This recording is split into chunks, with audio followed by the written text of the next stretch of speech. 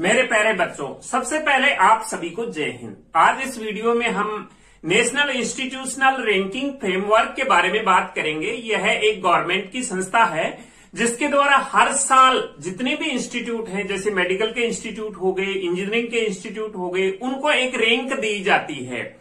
तो आज हम ये देखेंगे कि जो मेडिकल के इंस्टीट्यूट है मेडिकल कॉलेजेज हैं, वो कौन सी रैंक पर कौन सी कॉलेज है? तो इसके बारे में हम चर्चा करेंगे क्योंकि एनआईआरएफ 21 की लिस्ट जारी हो चुकी है। तो वीडियो शुरू करने से पहले आपको बता दूँ कि अगर आप काउंसलिंग के बारे में जानकारी लेना चाहते हैं तो हमारी बुक डाउनलोड कर सकते हैं। इस वीडियो के डिस्क्रिप्शन में लिंक दिया गया है। या फिर इसको हमारी वेबसाइट www.chopraeducation.com से भी डाउनलोड कर सकते हैं। इसमें मैंने आपको सब कुछ समझा दिया है, जो आप जानना चाहते हैं।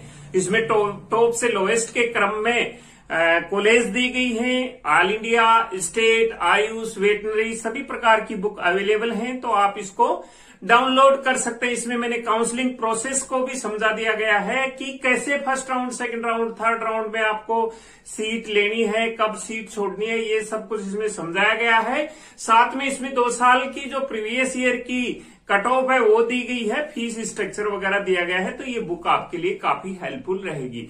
अब बात करते हैं हम एनआईआरएफ 21 के बारे में। तो ये जो एनआईआरएफ है, ये जिन पैरामीटर्स पर ये काम करती है, जिन पैरामीटर्स पर ये इंस्टीट्यूट के रैंक निर्धारित करती है, वो पैरामीटर्स हैं। सबसे पहले है टीचिंग, लर्निंग एंड रिसोर्सेज। इस पैरामीटर पर रैंक निर्धारित करती है ये। दूसरा पैरामीटर है रिसर्च एंड प्रोफेशनल प्रैक्टिस। तीसरा पैरामीटर है, वो है ग्रेजुएशन आउटकम। चौथा है इंक्लूसिविटी इसके बाद में पांचवा जो पैरामीटर्स है, वो परसेप्शन यानी कि इन पाँच पैरामीटर्स पर ये रैंकिंग निर्धारित की जाती है एनआईआरएफ द्वारा. तो देख लेते हैं 21 में ऐसे कौन कौन से इंस्टीट्यूट हैं, कितनी रैंकिंग पर है वो. तो मैं आपको बता दूँ कि 21 में टोटल मेडिकल के 111 इंस्टीट्यूट ने पार्टिसिपेट किया था इसमें सभी इंस्टीट्यूट पार्टिसिपेट नहीं करते हैं।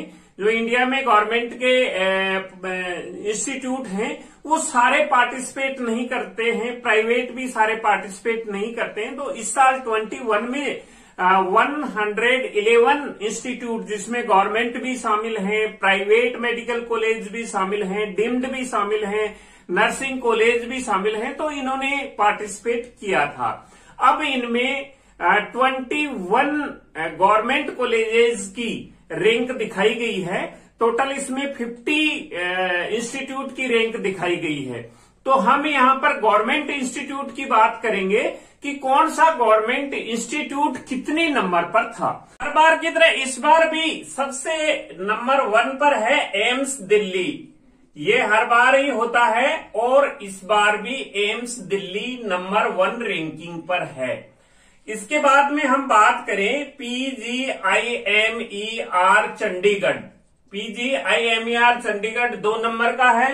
मैं आपको यहाँ बता दूँ कि जो PG I M E R Chandigarh है, उसमें पीजी कोर्सेज होते हैं। एमबीबीएस के लिए जीएमसीएच चंडीगढ़ है। Government medical college and hospital Chandigarh है।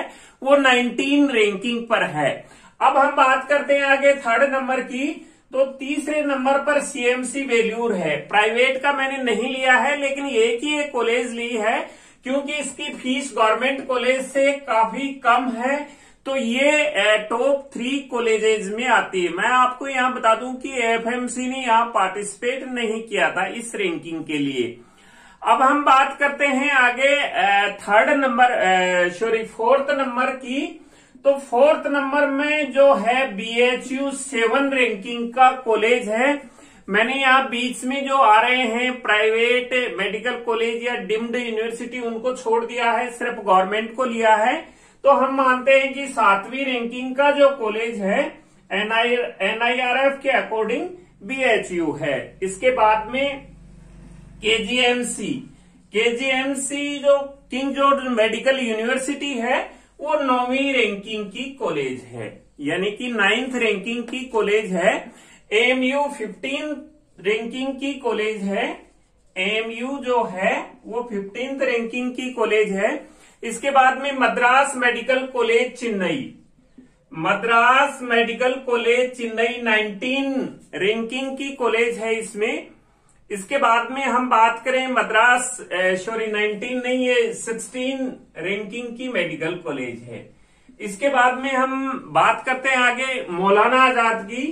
तो मौलाना आज़ाद 17 रैंकिंग की कॉलेज है, ये एनआईआरएफ ने इसको इस साल 17 रैंक दी है।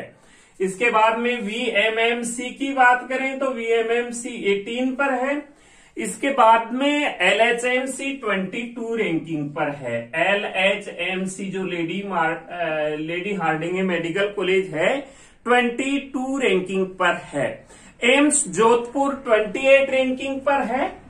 जोधपुर एम्स जोधपुर एम्स है वो ट्वेंटी एट रैंकिंग पर है। AIIMS Jodhpur twenty eight ranking पर है। इसके बाद में हम आगे बात करते हैं जीएमसीएच ये ट्वेंटी नाइन रैंकिंग पर है। मैंने ईश्वरी नाइनटीन पर बता दिया था। ये ट्वेंटी नाइन रैंकिंग का कॉलेज है एनआईआरएफ के अकॉर्डिंग यूसीएमएस है वो थर्टी यूसीएमएस थर्टी इसके बाद में आगे हम बात करें एम्स भुवनेश्वर। भुवनेश्वर है वो है थर्टी वन रैंकिंग का इंस्टीट्यूट है। यानी कि थर्टी वन रैंकिंग का इंस्टीट्यूट है एम्स भुवनेश्वर। इसके बाद में हम बात करते हैं मेडिकल कॉलेज कोलकाता की तो वह थर्टी टू रैंकिंग का कॉलेज है। Medical college Kolkata. अब हम बात करते हैं serial number 15 medical college Kolkata. ये है मेडिकल कॉलेज कोलकाता 32 रैंकिंग का कॉलेज है। यहाँ हम गवर्नमेंट कॉलेज की बात कर रहे हैं। पीएसजी कोयमटूर पीएसजी कोयमटूर है, थर्टी थ्री रैंकिंग का कॉलेज है। अब हम बात करते हैं आगे SMS medical college Jaipur. Thirty eight ranking का कॉलेज है। इसके बाद में एससीबी कटक। उड़ीसा का। एससीबी कटक, ये भी जो है वो थर्टी नाइन रैंकिंग का कॉलेज है। नाइनटीन नंबर पर हम बात करते हैं अन्नामलाई यूनिवर्सिटी अन्नामलाई यूनिवर्सिटी जिसके अंदर आती है राजा मुतैया मेडिकल कॉलेज आती है आईआरटी आती है राजा मुतैया मेडिकल कॉलेज आती है, वो फोर्टी रैंकिंग की कॉलेज है। इसके बाद में रिम्स इम्फाल। आगे हम बात करते हैं RIMS Imphal. Twenty serial number पर रिम्स इम्फाल। ये है आपका 43 रैंकिंग का कॉलेज। और इसके बाद में हम बात करें आगे ट्रिनवेली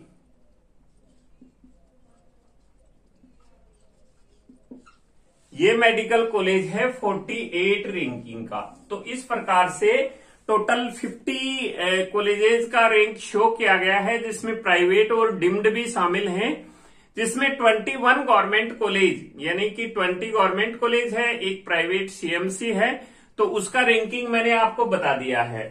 अब, ये रैंकिंग मैंने आपको बता दिया है, लेकिन ये हर साल चेंज होता रहता है। आपने जब चॉइस फिल करनी है तो क्या इसी के अकॉर्डिंग फिल करनी है? नहीं. आपने जो चॉइस फिल करनी है, वो अपनी लोकेशन को देखते हुए, इनमें से टॉप मेडिकल कॉलेज को देखते हुए 22 या 19 में किन बच्चों ने पहले कॉलेज को प्रिफेयर किया है, उसको देखते हुए आपने कॉलेज का रैंकिंग सेट करना है, उसी के अनुसार च्वाइस देनी है आपने. जैसे मान लो, अगर किसी स्टूडेंट का नज़दीक पड़ता है मौलाना आज़ाद तो वो बीएचयू में क्यों जाएगा? वो मौलाना आज़ाद में ही एडमिशन लेगा पहले वीएमएमसी में एडमिशन लेगा। किसी का पड़ता है एसएमएस जयपुर, नज़दीक पड़ता है तो वो एससीबी कटक क्यों जाएगा? तो इस प्रकार से लोकेशन को देखते हुए लोकेशन को देखते हुए रैंकिंग को देखते हुए आपने चॉइस फिल करनी है। ये मैंने जो एनआरआईएफ की रैंकिंग बताई है फिर बता देता हूँ दोबारा, ये हर साल चेंज होती रहती है तो आप अपने हिसाब से च्वाइस फिल करें। तो दोस्तों, ये जानकारी थी। एनआईआरएफ के बारे में। मिलेंगे नए वीडियो में नई अपडेट के साथ। तब तक के लिए जय हिंद।